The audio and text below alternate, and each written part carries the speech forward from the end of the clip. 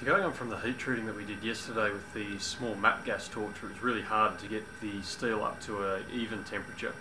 Um, I'm showing the type of flame you should be looking for if you want to heat treat in a gas forge. It's a very slow, kind of lazy flame. Uh, it's kind of purplish on the outside of the forge.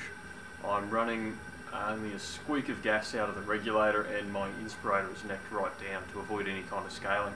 So the blade's been in there for about 10 minutes or so.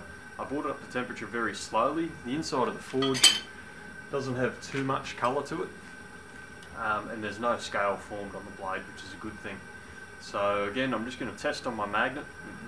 This is 1075 steel so magnet's a good way of working out if it's at the right temperature or not.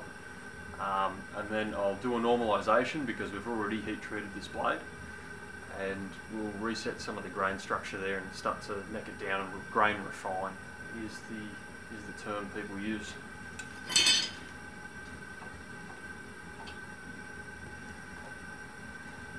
So you can see it's non-magnetic I'm just going to let it cool down nice and easily.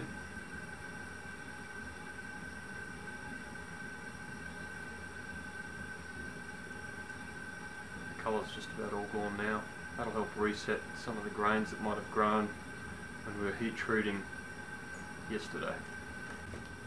Okay, so the blade is back in the forge again after normalising and once I get it up to a cherry red colour I'll start to test it with the magnet and then I'll go into the Houghton's G quench, so a medium speed oil quench.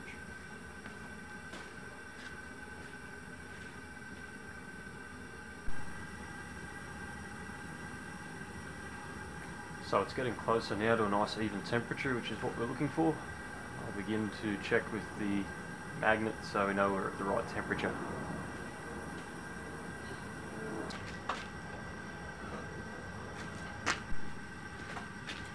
Just another quick test.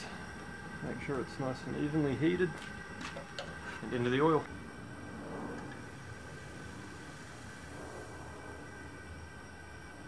Here I've just given it an edge quench.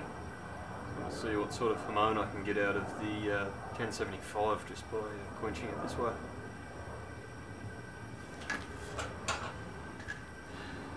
I guess it's important to get the rest of the heat out of the, um, the blade after the initial cooling takes place to form that line.